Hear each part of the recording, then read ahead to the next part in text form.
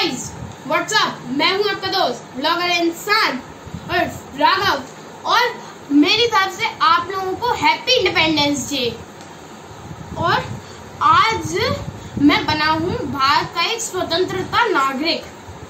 वो आज मैं आपको बताना चाहूँगा स्वतंत्रता दिवस के कुछ अहम बातें। इससे पहले कि मैं बताऊँ, आप लोगों में से जिसको भी पता है कि हम लोग स्वतंत्रता दिवस क्यों मनाते हैं, वीडियो के नीचे कमेंट सेक्शन में टाइप करके मेरे को भेजें, मैं ज़रूर पढ़ूँगा। अच्छा चलिए मैं ही बता देता हूँ कि स्वतंत्रता दिवस क्यों मनाते हैं। क्योंकि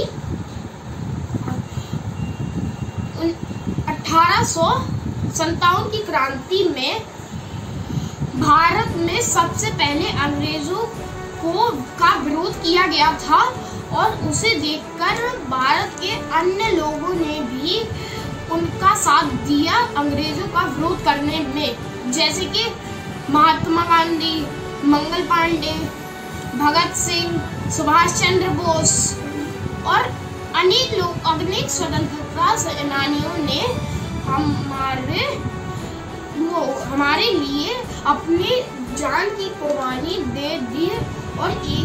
फाइनली ऐसा भी आया जिस दिन भारत को हमारे स्वतंत्रता सेनानियों के बलिदान की वजह से आज़ादी मिल गई और भारत की आज़ादी 15 अगस्त उन्नीस को मिली थी। इसलिए हम लोग उन स्वतंत्रता सेनानियों की याद में हम लोग भारत का स्वतंत्र, स्वतंत्रता दिवस मनाते हैं। और थैंक्स फॉर वाचिंग वीडियो और आप इस वीडियो को ज़्यादा से ज़्यादा शेयर कीजिए, जिससे कि और लोग भी जान पाए कि हम लोग स्वतंत्रता दिवस क्यों मनाते हैं। Thanks for watching